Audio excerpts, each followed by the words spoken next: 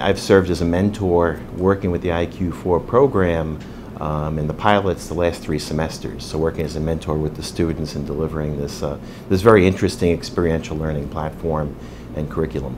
Our presentation really focused on the how, which is how are you going to get there? How are you really going to do this um, as a large, um, any large educational um, uh, institution with funding issues, you know, how do you really change it? We all know, you know, the education ecosystem's hard to change.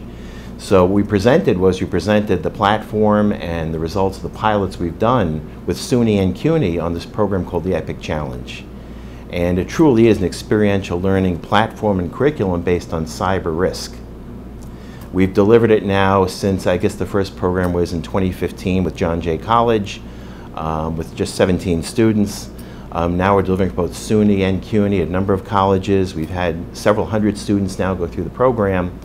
And safe to say it's gotten pretty popular. We're now returning students away. I think we've had 400 students for our spring semesters that have actually been turned away uh, from the program.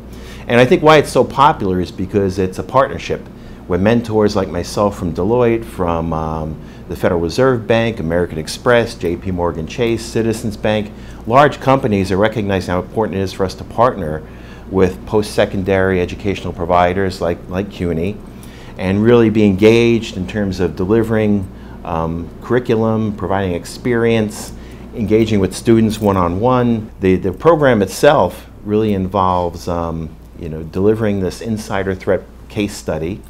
And um, as a mentor, I work with usually I have, um, we have three classes I'm responsible for, me and two other mentors um, one from American Express, one from Citizens, both big employers.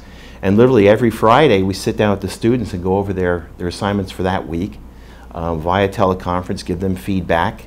And uh, they use the IQ platform to complete their assignments, to post it, to add discussions, and, um, and we bring them real world experience. So I, I treat them as I would a, a group of employees working for me. And we give them real world feedback. We talk about what's in the newspaper every day, cyber in particular, very fast moving, uh, constantly changing areas. So we don't just focus on technology, by the way. We focus on, uh, and one of the things about cyber is it's not just about technology and technical skills. There's regulatory, there's legal, there's risk, there's financial.